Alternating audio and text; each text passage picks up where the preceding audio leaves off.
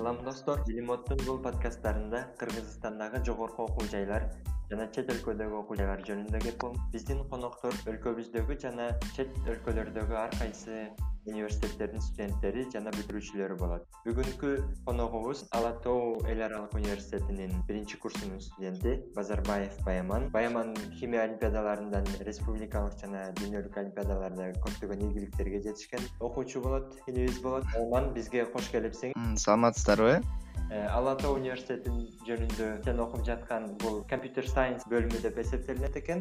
Кыргызча которгондо компьютер илимдери бөлүмү. Э, бул бөлүмдө силер кайсы тилде негизи сабак өтөсүңөр? Кайсы тилди билүү маанилүү?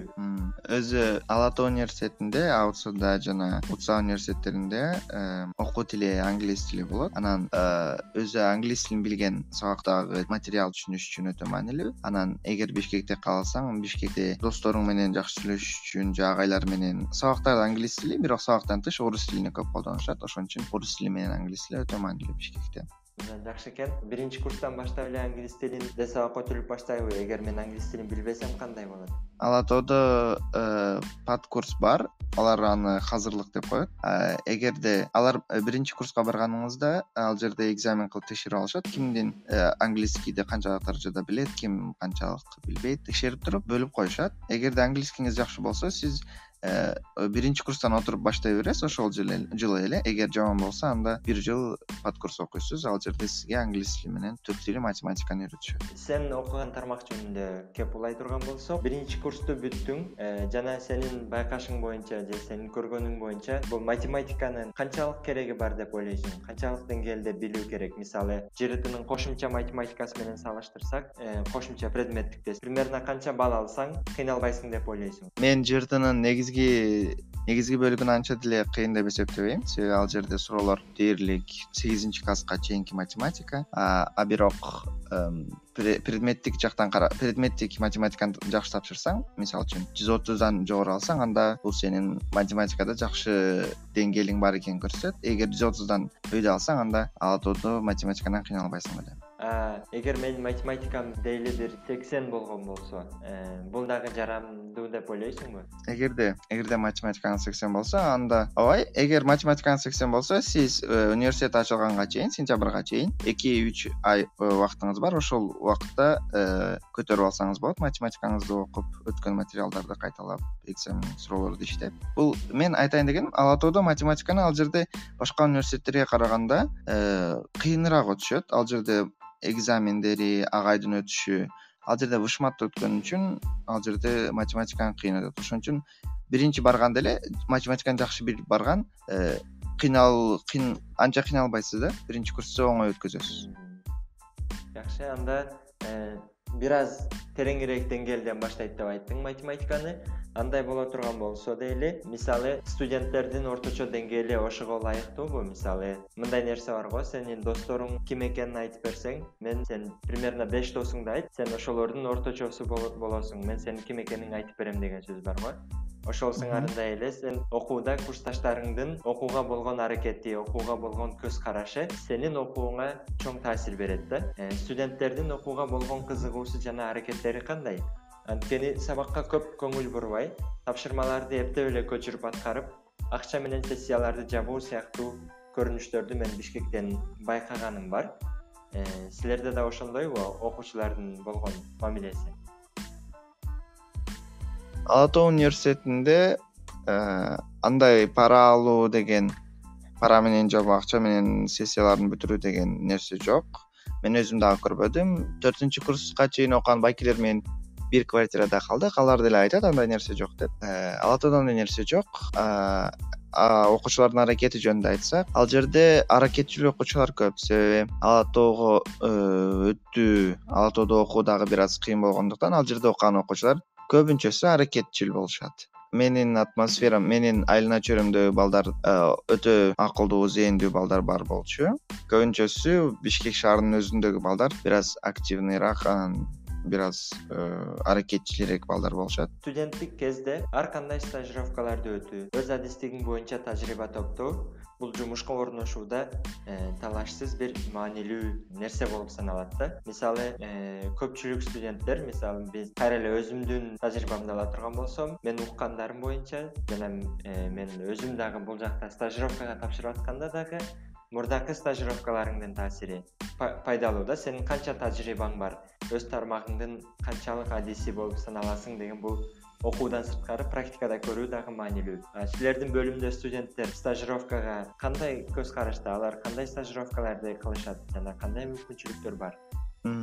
Биз биринчи курсту бүткөнүбүзгө байланыштуу көп окуучулардын стажировканы анча деле биринчи курсту бүткөн үчүн анча деле карашпады бирок карап жаткан окуучулар дагы бар. Мисалы үчүн бишкекте зынцов деген ниобис же парк высоких технологий деген ошо программисттерди стажировкага ала турган жерлер бар. Ошол ошол жерде стажировка кылып жаткан менин досторум курсташтарым бар. Ал жерде э, көз караш ар түрлүү эгер э, программирование менен э, вот мектепте эле даярданып жүргөн балдар олимпиадага катышып жүргөн балдар алар биринчи курсту бүтүп эле стажировкага кире беришет.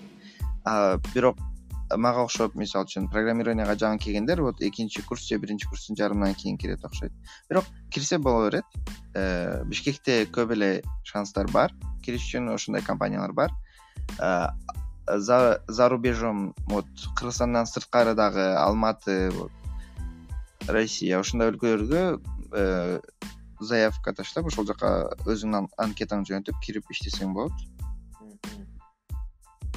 Абдан сонун сенден дагы бир э, сенин өзүң албетте бүтүрө элексиң университетти бирок сенин бүтүрүүчүлөр тааныган же болбосо көрүп жүргөн бир мисалдарың барбы? Мисалы ала тоо университетинде компьютер илимдери тармагын окуп бүтүрүүчүлөр канчалык деңгээлде жумуш таап жатышат деп ойлойсуң ошол жөнүндө маалыматың барбы? Бир аз бар. Мен ала университетинде окуп жүргөндө бир байке бар болчу жанат деген. Ал байке ислам деген байке бар болчу. Ал ислам байке экинчи курстун жарымынан баштап зенсофт деген компания бар бишкекте. Зенсофт деген компания ал дүйнө жүзү боюнча үч эле шаарда бар. Бирөөсү вот америкадагы бир шаар экинчиси бишкек үчүнчүсү шанхай болсо керек. Вот үч шаардын ошол компания абдан чоң анан э, өтө бай компания. Ошол жерде э, ислам байке экинчи курстун жарымынан баштап эле иштей баштаган. Ал жер ал фул тайм жок э, эртеден кечке чейин ошол жакта иштейт. Бирок университеттин да кантип университетке дагы экзамендерге келип турат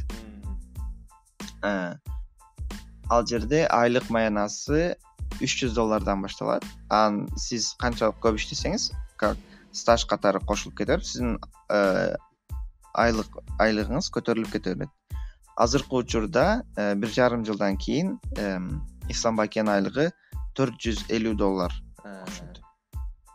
анан башка бүтүрүүчүлөр деле бар. Бирок мен көбүн тааныбайм бирок сыртта иштеп жаткан вот европага төртүнчү курсту бүтүп бүтпөй европага барып ошол жакта улантып жаткан окуучулар дагы бар. Бул көбүнчө адамдын өзүнүн аракетиге кызыкчылыгга карайт экен да.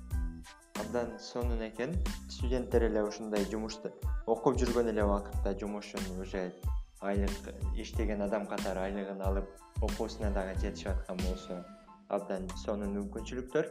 Анда э, сенин бул кабыл алуу жөнүндөгү эми сен өзүң айттың олимпиаданын жардамы менен өттүм дедің анда сен бюджеттик негизге өткөнсүң анткени эл аралык олимпиададан медалың бар болгондуктан алар бюджеттик негизде алат. Кыргызстанда дагы эле орундарың бар болуш керек. Анда мен бул жака мен билем республикалык олимпиадаларда биринчи орунду алсаң бюджетке өтөсүң деген а экинчи орунду алсаң бир канча пайыз жеңилдиктер менен деген. Ошолор жөнүндө айтып берсең анан жрт боюн жрт менен дагы бюджеттик негизге өтүш үчүн кандай көрсөткүч көрсөтүшүң керек?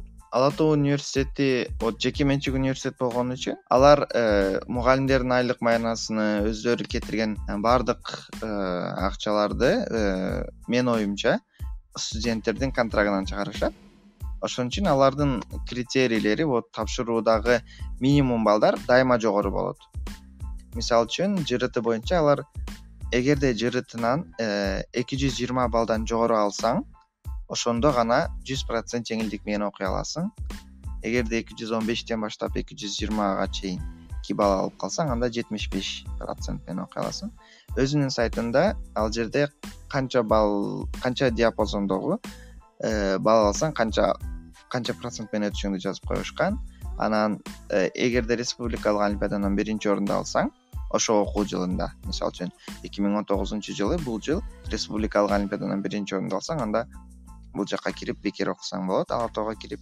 Э, же болбосо дүйнөлүк олимпиаданан э, медалың болсо вот коло күмүш же алтын үчөөнүн бири болсо деле барып ошол жерде бекер окусаң болот. Түшүнүктүү. Анда быйылкы жылдары э, окуу контрагы канча болуп жатат канча төлөйсүң? Окуу контрагы алар алмашып турат окшойт. Мен эки миң он сегиз эки миң он тогуз окуу жылындагы окуу контрагын айтсам ал жерде биздин факультеттин контрагы бир миң сегиз жүз доллар болчу. Мисалы үчүн вот англис тили факультети эң арзан. Э, ала тоодо ал тогуз жүз же миң доллар. Анан эң кымбат факультет э, медицина факультети. Э, ал төрт миң долларга чейин окшойт. Ушундай бюджеттик негизге өткөн жөнүндө билдик.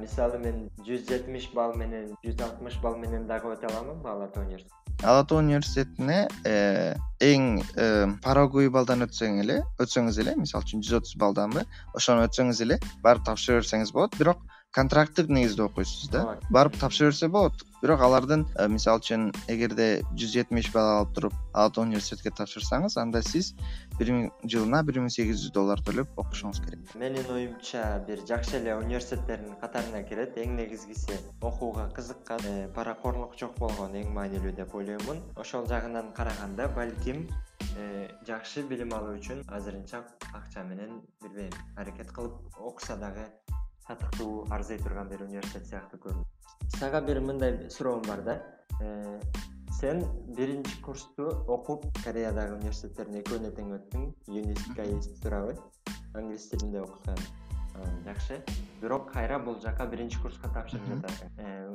башкача айтканда бир жыл арада уттуруп жатасың деп ойлоймун эми бирок эмне үчүн сен кайра эле бир жылды уттурганыңа карабастан тапшырып атасың бул суроо көп жерде суралды эң негизгиси мен чоң эмелерде чоң жерлерде окугум келди өзүм мектепте окуп жүргөндө чоң дегенде эми топовый топ жүздөгү университеттерде мисалы үчүн окугум келди ошон үчүн мен э, он биринчи классты бүтүп жатканда англис тили экзаменини жакшы тапшыра албаганым үчүн тойфулду мен бир жыл академический десем да болот бир жыл калып калдым ошон үчүн э, ошол убакта мен тойфулга даярдандым дагы тойфулду тапшырып алдым. Э, мен убактымды уткурган болушум мүмкүн бирок кандай десем. Мисалы үчүн кыргызстанды бир аз эме деп ойлосок аквариум деп ойлосок вот корея мисалы үчүн мен окуй турган жерим корея. Ал жер чоңураак бир көл көл да.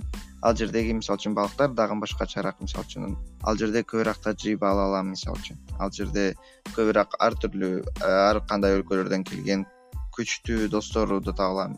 Ошон үчүн мисалы үчүн мен төртүнчү курсту бүткөндө уже э, уже уже мындай ийгиликтүү адамдардын уже чоң компанияда иштеп жаткан адамдардын контагы уже менин телефонумда болот дегендей бир нерсе да бул дагы связь мисалы үчүн байланыш деп коет байланыш дагы өтө керектүү нерсе анан экинчи үчүнчү жактары мисалы үчүн жылды уткузган болушум мүмкүн бирок э, бирок э, адамдардын мисалы үчүн англис тилде turning point деп коет мисалы үчүн ийгиликтүү болуп кетиши канча жашта экени белгисиз мисалы үчүн менден үч жыл мурун бүткөн болушу дагы мүмкүн менин менен тең бала. Бирок ал эки жыл жөн эле убактын кетирген болушу мүмкүн бирок мен э, университетти бүтүп туруп эле сразу э, ийгиликтүү болуп кетиши мүмкүн. Бул жерде эч ким айта албайт. Мисалы үчүн мен бир жыл убакыт уткурганымды бир жыл утуп атканымды эч ким мындай так айта албайт.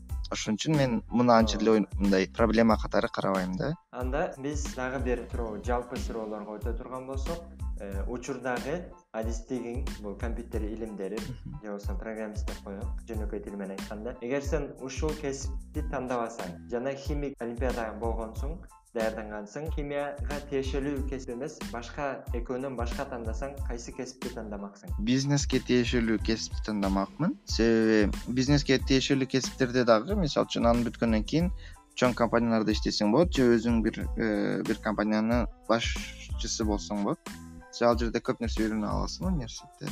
Ошол факультет бизнес факультетинде мисалы үчүн стив джобс. Мисалы үчүн кайнысы. Мен үчүн эң керектүү болгон нерсе бул эң өтө маанилүү болгон нерсе бул жакынкы он жылда өтө жакшы мисалы үчүн акча табуу мен үчүн. Өтө биринчи орунда турган нерселеримден да эң приоритетте турган нерселеримден жакшы акча табуу эгерде мен жакшы акча тапсам анда өзүмдүн пландарымды реалдаштыра алам. Анан өзүмдүн мамлекетиме тийгизген таасирим өзүмдүн мамлекетиме берген жардамым дагы өтө чоң болот деп ойлойм. Ошон үчүн мен акчаны көп таба турган тармак катары биринчиде айти тармагын коем экинчиде вот бизнес жакты коем акыркы суроом бул китеп окуу жөнүндө болсун. Азыр кайсы китепти окуп жатасың? Жана сен окуган китептерден кайсынысын сунуштайсың? Мен өзүм анча деле китеп окубайм бирок э, бир айда бир китеп сөзсүз бүтүрүп турам. Мисалы үчүн азыр окуп жаткан китебим цветы э, для элджернона э, өзүм окуган ушуга чейин окуган китептерден эң жаккан китеп бул алхимик ал жерде сантьяго деген бир койчу бала жөнүндө көп эле адам окуган болсо керек. Ал эч нерсеге карабай өзүнүн максатына э, катуу ишенген өзүнүн э, койгон максатына катуу аракет жасаган койчу койчу бала катары э, аны окуганда көп вот өзүңө дем аласың күч күч топтойсуң. Ошон үчүн мага алхимик китеби жакты ошону сунуштайм эң сонун. Анда баяман сизге өз оюң менен өз тажрыйбаң менен жана өз пландарың менен бөлүшүп бергениңе сага ыраазычылык билдиребиз. Чоң рахмат. Рахмат силерге дагы. Анда эмесе достор силерде ар кандай тармактар жөнүндө же болбосо кайсыдыр бир университеттер кесиптер жөнүндө суроолор болсо комментарийге калтырсаңар болот. Биз албетте көп суралган суроолорго кийинки видеолорду ошого жараша подкасттарды даярдаганга аракет кылабыз